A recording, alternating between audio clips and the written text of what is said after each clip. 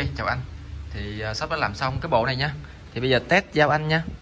Thì cơ bản á, thì bộ này nó không khác gì những bộ mà mình hay bán nha. Nó chỉ khác đúng một vấn đề đó là đấu cái tay ga vô Nha. Và trên tay ga này thì đặc biệt nó có luôn cái phần mà công tắc ba tốc ba tốc độ á.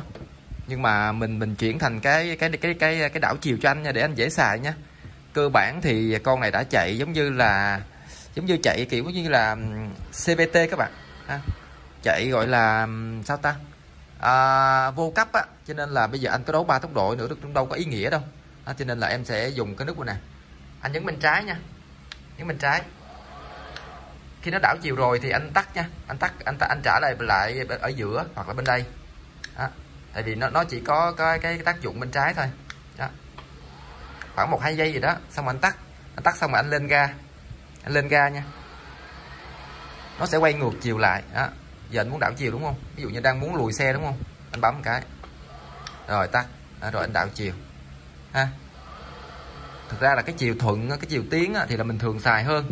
Còn cái chiều đảo chiều thì có thể ít xài nha.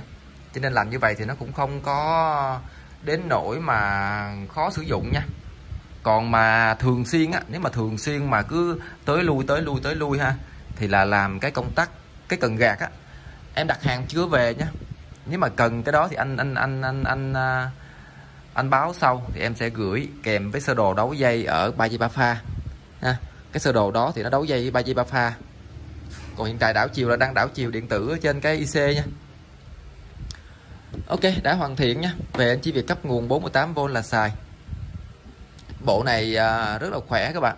Động cơ Brooklet của Nhật nha. Nguyên cụm này hàng mới chưa xài. À, hàng mới chưa xài các bạn. GTR Made in Japan toàn bộ hết nguyên cụm. Đời cao 2017 nha. Đó, con này thì rất là ok. Cốt âm phi 30 có 3 vét à. cứ uh, kéo ga lên là chạy nha. Đó.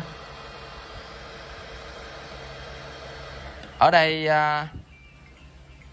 à có có điện thoại. Nãy giờ quên nha. Quên báo có chế độ có thắng nè. Nè có thắng. Anh bật anh bật như vậy thì nó sẽ khóa lại nha. Nó sẽ thắng lại khi anh dừng á thì nó sẽ không bị trôi ok đã test ok nha.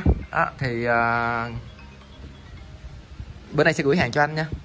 Cảm ơn anh ủng hộ.